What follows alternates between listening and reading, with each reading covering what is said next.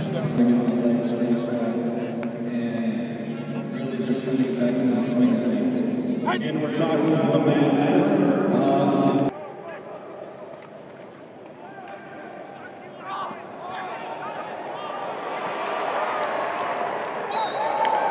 I thought the tempo was great after we got going.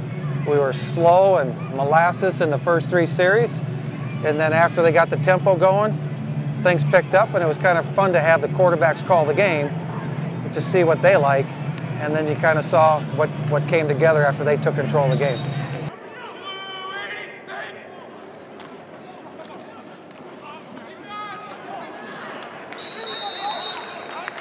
I feel like our running back came in, stepped up big. Uh, David didn't get a play. Evan came in, you know, filled, filled the hole. You know, he ran real hard. Um, and then Nick Jepsen at the very end, that was very surprising. You know, he has, I don't think he's carried the ball all spring. And then got came in, came in and ran the ball down the hole, ran the ball down people's throats. That was very impressive.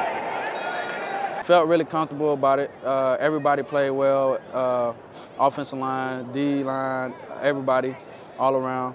Um, just was really looking forward to my last go around. Uh, had a lot of success this spring, uh, getting my reads better, passing better, uh, just you know taking more control as a leader, as a senior. So um, just really looking forward to this upcoming summer and this upcoming season.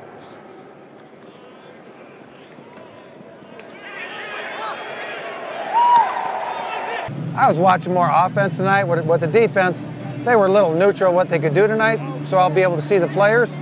There should have been a lot more action on defense than there was. Somebody couldn't have been getting off a block. Now, the guy that did make a play was uh, on the intercept for a touchdown, and then what I'll look at is who got up and made the blocks while that play was going on. So that's the guy that'll start to separate himself is who gives the extra effort.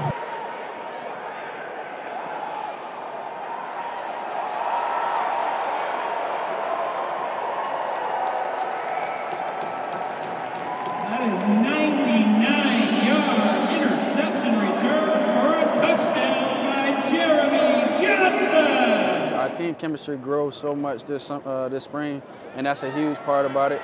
And uh, we're going to continue to grow uh, this summer, especially when we get the incoming freshmen. We got to teach them the ropes that you know this is a team. Not, uh, you're not here for yourself. Everybody is here as one. So.